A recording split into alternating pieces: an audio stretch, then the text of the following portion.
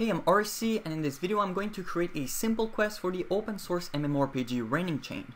Um, so this is the quest we are going to create. So we talk with the NPC and he asks us to kill a dragon, we kill the dragon and then we talk with the NPC again to complete the quest. Now we need to um, find out what are the different quest variables that we will need. So what do we need to save about a player in order to save its progression during the quest. And the only thing is I've killed dragon, so if the player has killed a dragon or not. Now concerning the events, we will need two of them. So the first one is um, talk Ringo. So the, the event link with um, the dialogue trigger of the NPC Ringo that we will create later on. So when we uh, click on Ringo and if the player have killed it, have not killed the dragon, then Ringo will say to the player, hey, go kill the dragon. If the player clicks on Ringo and he has killed the dragon, then we will simply call quest complete. And we also need the event on the death event of the dragon. So when we kill the dragon, it will set the have killed dragon to true for the player who killed the dragon. Okay, so now let's just take a look to the real code. Um, so we got our variable have killed dragon equal false, nothing has changed. Now, um, in order to get the quest variable of a certain player, we need to use the function as get key and then specify the name of the quest variable, in that case, I've killed dragon, is it equal to false, then we display the message, go kill the dragon. Um, if it's equal to true, then we will call it complete quest. And for the list of all the, the function, I will show that in the quest um, creator. It's, it's a lot easier. There's a full ID, auto completion, um, the stuff for you. So if you look, if you are confused right now, don't, don't worry, it will be um, easier than you think. Then we got um, the event when you kill the dragon, so it will set the have killed dragon to true. And then finally we will need to create a map that I will call the dragon lair. Um, we will spawn a NPC that when we click on it, it triggers the Talk Ringo event, which is right here, so we'll trigger that. And then we also need to spawn a dragon, then when it dies, it will call the kill dragon, which is this, so it will set the have killed dragon to true. So now what I'm going to do is to do it on the quest creator. So I assume that you have already installed on the quest creator. You simply want to go there, click new, and then enter, let's say, quest example one. Does not really matter. Um, variables. You need one, which will be have killed dragon.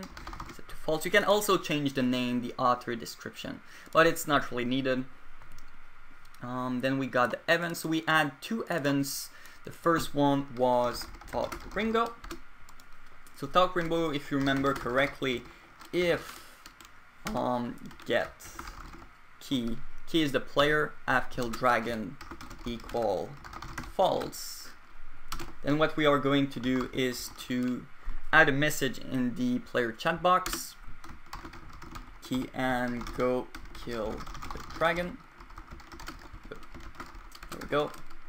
Now if as get key have kill dragon equal true, then we are going to display the message, well, nope, we are going to complete quests. There we go. Now we are going to create the kill dragon event right there. So it will simply set the have kill dragon to true. Then we got the maps. So um, by default, there's already a map called Q-Town Main. Simply don't touch it. It, it simply adds a, a skeleton that when you click on it, it will teleport you to the main. Normally, you only need to modify this, this part, so the main map. So right there, we are going to create our, um, it's called Ringo. So spawn actor, add this spot. Actually, let, let's modify the map first its map. So this is the map we have right now. We are going to remove the default spots. Right there. You need to leave the T1 by the way. This is where you will be teleported by the skeleton. Um, we could add, I don't know, some trees. Oops. Let's add some trees. This is not really a tutorial about how to create nice looking maps. But as you can see, you just drag, click, then you can also copy paste, place it like that. Normally you would also want to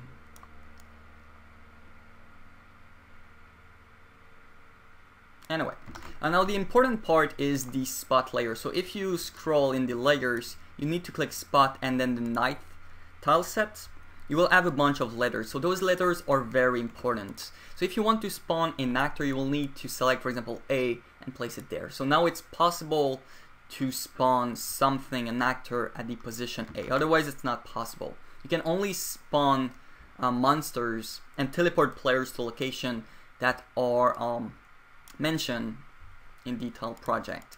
So what we want is a NPC, let's say Ringo, we will put Ringo at this spot N1. We click N1 here and then we spawn a monster, for example E1 right there. So we can save, close. Every time you modify a map, you will need to click the generate image um, in order for the, the game engine to be able to render it on the screen. Okay, so once this is done, um, you can actually start off and Uh, our NPC. So what we want is an actor at the spot N1 and this will be Ringo, so it will be an NPC. And the special thing about this NPC, unlike regular NPC, it will have a dialogue and when we talk with him, it will trigger the dialogue talk Ringo. Then after that, we want to spawn an actor at the spot E1 and this will be our dragon dragon right there and the dragon will be special when we kill him it will trigger the kill dragon event. So there we go. We can save and that's all we need in order to create our quest. So we save and then we click the start server button. It will tell you to go to localhost 3000 so let's just go. There we go. Sign in. Then you can create a new account or if you have one already, you can log in directly. Now there will be skeletons. So one of the skeletons, if there are one or two skeletons, is, uh, you want to click on the one with the name of your quest. So in our case, it's Q, um, Q quest example one. So we click on him, start quest, and we will get teleported to the map we have just created. There will be our dragon, it will be Ringo. If we talk with Ringo, it will say go kill the dragon. If we actually kill the dragon, there's the dev tool if you want to be invincible. We kill the dragon, we talk with him again, and it will be quest complete. So I guess that's pretty much it about this, this tutorial. I hope you liked it, and um, see ya!